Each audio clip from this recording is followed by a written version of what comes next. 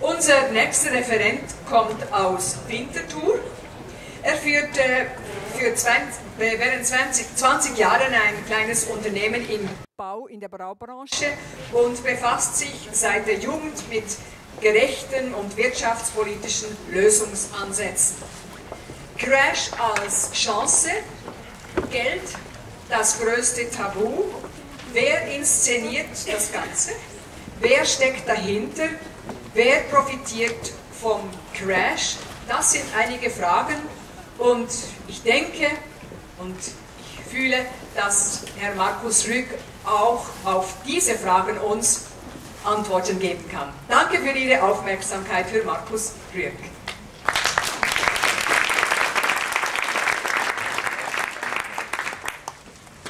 Jetzt muss man hoch mitschreiben. Okay, gut. Ja, freut mich, dass ich äh, Ihnen da meine Multimedia-Show zeigen kann. Sie ist noch nicht so perfekt, aber es gibt äh, einiges. Es ist äh, das größte Tabu. Geld ist äh, ein Thema, das äh, speziell in der Schweiz eigentlich äh, nur unter der Hand besprochen wird, behandelt wird.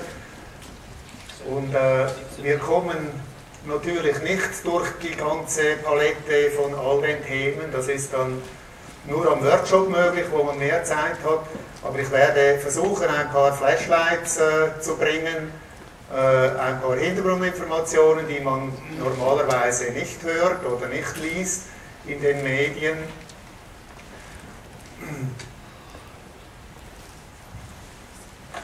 Anfangen möchte ich mit einem äh, Filmausschnitt. Und zwar habe ich äh, gehört, der der Film, aus dem ich den Ausschnitt nehme, ist im Moment an erster Stelle in, dem, äh, in der Rangliste von Google. Also Sie wissen ja vielleicht, man kann heute ganz viele Filme einfach so übers Internet äh, anschauen. Und der Film heißt Zeitgeist. Ist ein amerikanischer Film mit einer deutschen Tonspur. Der ist jetzt an erster Stelle in äh, der Google-Rangliste. In diesem Film gibt es einen, eine Sequenz oder äh, ein Drittel des Filmes dreht sich um das Thema Geld, um Finanzen, Finanzsystem. Und da nehme ich einen Ausschnitt raus, weil dort äh, die Hintergründe von unserem Finanzsystem, in dem wir leben, sehr gut aufgezeigt werden, wie das Ganze entstanden ist, wie das Ganze kreiert wurde und äh, ich werde dann nachher noch ein paar Sachen dazu sagen. Ich finde den Film grundsätzlich äh, gut bezüglich äh, Analyse und Kritik, aber bezüglich Lösungsvorschläge gibt es praktisch nichts. Und das ist eigentlich äh, etwas, was ich überall beobachte. Lösungsvorschläge sind sehr rar. Und gerade bei diesem Thema sind sie noch rarer. Und ich möchte den Schwerpunkt meines äh, Referats auf diesen Punkt Lösungsvorschläge setzen. Aber zuerst jetzt auch etwas äh, zum Status quo, diesen äh, Filmausschnitt. Nur noch mehr Schulden produziert.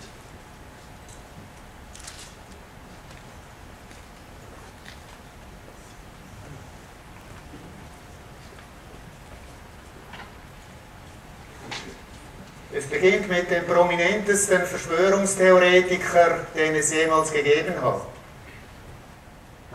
Ladies and Gentlemen, bereits das Wort Geheimhaltung ist in einer freien und offenen Gesellschaft geradezu abstoßend. Nun aus historischer Sicht ist uns als Volk die Ablehnung gegenüber Geheimgesellschaften, geheimen Schwüren und geheimen Handlungen bereits angeboren. Denn wir sehen uns weltweit einer gigantischen und rücksichtslosen Verschwörung gegenüber, die zu verdeckten Operationen greift, um ihren Einfluss zu erweitern. Zu Infiltration statt Invasion. Zu Umstürzen statt Wahlen. Zu Einschüchterung statt freier Wahl. Es ist ein System, das riesige menschliche und materielle Ressourcen verwendet hat, um damit eine zusammenhängende, hocheffiziente Maschinerie aufzubauen, welche militärische, diplomatische, geheimdienstliche, ökonomische, wissenschaftliche und politische Operationen verbindet. Die Vorbereitungen dazu werden verheimlicht, nicht veröffentlicht. Die Fehler verschwiegen, anstatt groß darüber zu berichten. Dissidenten werden zum Schweigen gebracht, anstatt sie zu rühmen. Dazu verwendete Ausgaben werden nicht hinterfragt, kein Geheimnis wird gelüftet. Deshalb hatte der griechische Gesetzgeber Sola verordnet, dass es ein Verbrechen ist, wenn Bürger vor harten Diskussionen zurückschrecken. Ich bitte Sie um Hilfe für die gewaltige Aufgabe, die amerikanische Bevölkerung zu informieren und zu alarmieren. Aber ich bin davon überzeugt, dass mit Ihrer Hilfe der Mensch endlich das wird, wozu er geboren ist. Frei und unabhängig.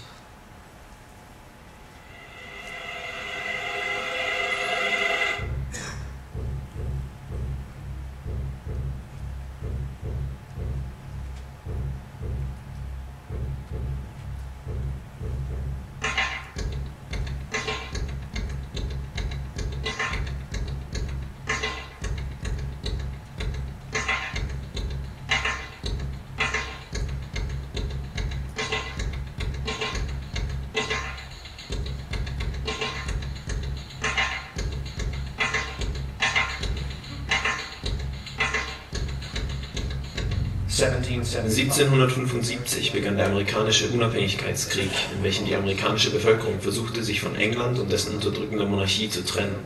Obwohl viele Gründe für den amerikanischen Unabhängigkeitskrieg angegeben werden, sticht einer ganz besonders hervor. König George III. von England ließ die zinsfreie, unabhängige Währung der Kolonien, die die Kolonien selbst herstellen, verbieten. Er zwang sie dazu, das Geld von der englischen Zentralbank zu leihen, gegen Zinszahlungen, was die Kolonien direkt in die Verschuldung führte.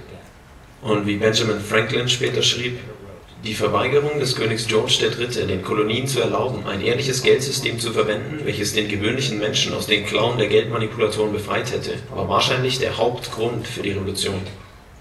1783 wurde Amerika von England unabhängig. Allerdings hatte der Kampf gegen das Zentralbankkonzept und die korrupten, gierigen Männer, die daran verwickelt sind, gerade erst begonnen. Was ist eine Zentralbank überhaupt? Eine Zentralbank ist die Einrichtung, die die Währung einer ganzen Nation produziert. Nach historischem Vorbild verfügt eine Zentralbank über zwei Hauptbefugnisse. Das Festlegen der Zinssätze und die Kontrolle über die Geldmenge und damit der Inflation. Ein Zentralbanksystem versorgt eine Gesellschaft nicht einfach mit Geld, es verleiht das Geld gegen Zinsen. Dann, durch das Erhöhen und Verringern der Geldmenge, reguliert die Zentralbank den Wert der herausgegebenen Währung. Es ist wichtig zu verstehen, dass die gesamte Struktur dieses Systems langfristig nur eins produzieren kann. Schulden. Man muss kein Genie sein, um diesen Betrug zu verstehen. Denn jeder durch die Zentralbank produzierte Dollar wird gegen Zinsen verliehen. Das bedeutet, dass jeder produzierte Dollar eigentlich der Dollar plus ein bestimmter Betrag an Zinsen ist. Und da die Zentralbank das Monopol für Geldherstellung im gesamten Land hat, und sie verleihen jeden Dollar in Form eines Kredits. Wo kommt dann das Geld her, um die Zinsen zu bezahlen? Das kann nur wieder von der Zentralbank kommen. Was bedeutet, dass die Zentralbank ständig mehr Geld schaffen muss, um damit vorübergehend die Schulden zu bezahlen. Wie es im Umkehrschluss wieder, da auch das neue Geld nur gegen Zinsen verliehen wird, nur noch mehr Schulden produziert. Das Endresultat dieses Systems ohne einen Zusammenbruch ist Sklaverei. Denn es ist für die Regierung und damit für die gesamte Gesellschaft unmöglich, aus dieser automatischen Verschuldung zu entkommen. Die Gründungsväter der USA waren sich dessen voll bewusst.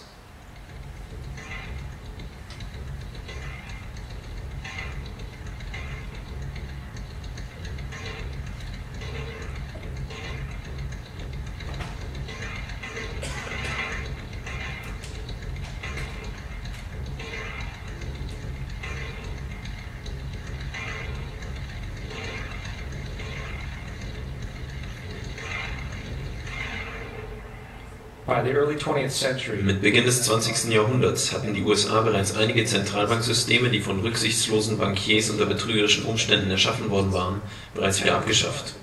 Zu dieser Zeit waren die herrschenden Familien der Geschäftswelt die Rockefellers, die Morgans, die Warburgs, die Rothschilds. Und im frühen 20. Jahrhundert versuchten sie es ein weiteres Mal, Gesetze durchzubekommen, die die Schaffung einer Zentralbank ermöglichen würden. Aber sie wussten, dass die Regierung und die Öffentlichkeit solcher Institutionen überdrüssig waren, weshalb sie einen Zwischenfall inszenieren mussten, um damit die öffentliche Meinung beeinflussen zu können. Deshalb verbreitete JP Morgan, der damals als Bankkoryphäe galt, Gerüchte über die Insolvenz oder den Bankrott einer großen New Yorker Bank. Morgan wusste, dass dies eine Massenpanik auslösen würde, die dann auch andere Banken betreffen würde. Und das tat es wirklich. Die Bevölkerung versuchte sofort durch massive Geldabhebungen ihr Vermögen zu retten, was die Banken dazu zwang, ihre Kredite zu kündigen und so die Schuldner ihren Besitz verkaufen mussten. Was so zu einer Spirale von Bankrotten, Besitzumverteilung und Turbulenzen führte. Ein paar Jahre später schrieb Frederick Allen vom Life Magazine, nachdem er die Sache verstanden hatte, Morgan-Interessen nutzten es aus, sie führten die Panik herbei und lenkten sie geschickt, während sie ihren Lauf nahmen. Obwohl man sich dieses Schwindels nicht bewusst war, führte die Panik zu einer Untersuchung im Kongress, die von Senator Nelson Aldrich geleitet wurde, welcher enge Verbindungen zu den Bankenkartellen hatte und später durch Heirat sogar ein Teil der Rockefeller-Familie wurde. Die von Aldrich geführte Kommission schlug vor, dass eine Zentralbank eingeführt werden sollte, damit eine Panik wie 1907 nie wieder passieren könne. Das war die Initialzündung für die internationalen Bankiers, die so ihr Vorhaben starten konnten. 1910 wurde ein geheimes Treffen auf einem Landgut JP Morgans auf Jekyll Island vor der Küste Georgias abgehalten. Dort wurde der Zentralbank-Gesetzesentwurf, genannt Federal Reserve Act, geschrieben. Dieses Gesetz wurde von Bankiers geschrieben, nicht von Gesetzgebern.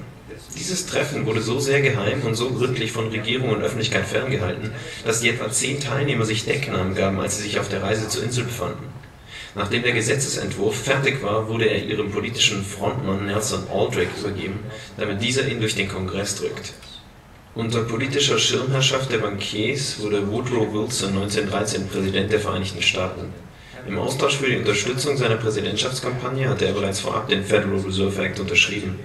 Und zwei Tage vor Weihnachten, als die meisten Kongressabgeordneten schon zu Hause bei ihren Familien waren, wurde der Federal Reserve Act verabschiedet und Wilson machte ihn zu geltendem Recht. Er schrieb später voller Bedauern,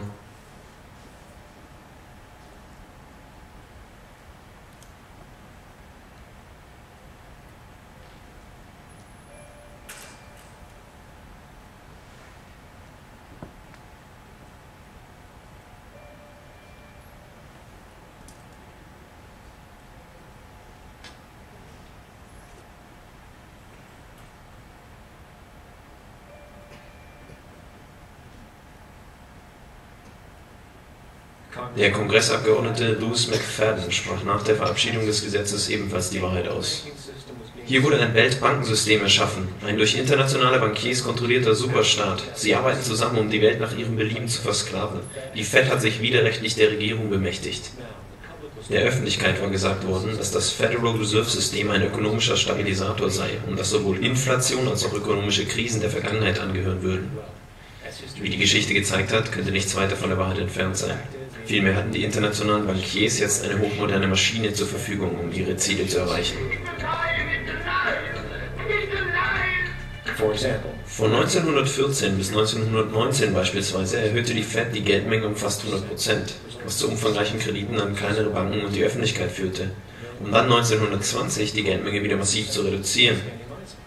Dabei mussten die Banken riesige Mengen an Krediten kündigen, was letztlich genau wie 1907 zu Bankruns, Pleiten und einem Wirtschaftskollaps führte. Mehr als 5400 konkurrierende Banken außerhalb des Federal Reserve Systems brachen zusammen, was die Konsolidierung der Gruppe internationaler Bankiers weiter vorantrieb. Sich dieses Verbrechens bewusst stand der Kongressabgeordnete Lindbergh auf und sagte im Jahr 1921, durch den Federal Reserve Act kann eine Panik künstlich erzeugt werden. Die aktuelle Panik ist die erste künstlich herbeigeführte, und zwar nach Berechnung einer mathematischen Gleichung. Allerdings war die Panik von 1920 nur ein Aufwärmen. Von 1921 bis 1929 erhöhte die Fed die Geldmenge wieder, was erneut zu umfangreichen Krediten an Banken und Öffentlichkeit führte. Eine damals ziemlich neue Art von Kredit am Aktienmarkt hieß Margin Loan. Einfach ausgedrückt erlaubte es der Margin Loan einem Investor, eine Aktie mit nur 10% ihres aktuellen Preises zu kaufen. Die anderen 90% waren ein Kredit des Brokers. In anderen Worten konnte man Aktien im Wert von 1000 Dollar besitzen, wobei nur 100 Dollar dafür bezahlt wurden. Diese Art von Aktienkauf war sehr beliebt in den goldenen 20ern, denn es schien, als könne man nur Geld verdienen am Aktienmarkt. Allerdings hat diese Art von Kredit einen Haken. Er konnte jederzeit gekündigt werden und innerhalb von 24 Stunden musste die komplette Summe bezahlt werden. Man nennt das Margin Call und das typische Resultat eines Margin Calls ist das Verkaufen der Aktie, die mit dem Margin Loan gekauft wurde. Einige Monate vor dem Oktober des Jahres 1929 verließen J.D. Rockefeller, Bernard Baruch und andere Insider still und leise den Aktienmarkt. Und am 24. Oktober 1929 begannen die New York Financiers, die die Ausgabe der Margin Loans zuvor angeheizt hatten, genau diese massenweise zu kündigen. Dies führte sofort zu massiven Aktienabverkäufen, weil alle ihre Margin Loans decken mussten. Aus demselben Grund wurden dann Bankruns ausgelöst, was letztlich zum Zusammenbruch von mehr als 16.000 Banken führte was die konspirativen internationalen Bankiers dazu befähigte, nicht nur Konkurrenzbanken günstig zu kaufen, sondern ganze Unternehmen für einen Bruchteil ihres Wertes.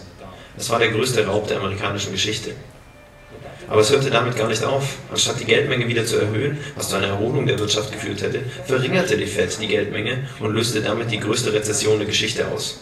Einmal mehr empört brachte der Kongressabgeordnete Louis McFadden, der ein langjähriger Kontrahent des Bankenkartells gewesen war, ein Misstrauensvotum gegen den Direktorenrat der Federal Reserve auf den Weg. Und er sagte über den Crash und die Depression, es war ein sorgfältig gestelltes Ereignis. Internationale Bankiers stellten einen Zustand der Hoffnungslosigkeit her, sodass sie sich zu den Herrschern über uns anentwickeln können. Es ist nicht überraschend, dass McFadden nach zwei bereits vorausgegangenen Mordversuchen während eines Banketts vergiftet wurde, bevor er das Misstrauensvotum weiter vorantreiben konnte. Jetzt, ohne weitere kritische Töne McFaddens, entschieden die Federal Reserve Banker, dass der Goldstandard abgeschafft werden sollte. Um das schaffen zu können, mussten sie an das im System verbliebene Gold kommen. Also wurde unter dem Vorwand, dabei zu helfen, die Depression zu beenden, 1933 eine Beschlagnahmung allen Goldes durchgeführt.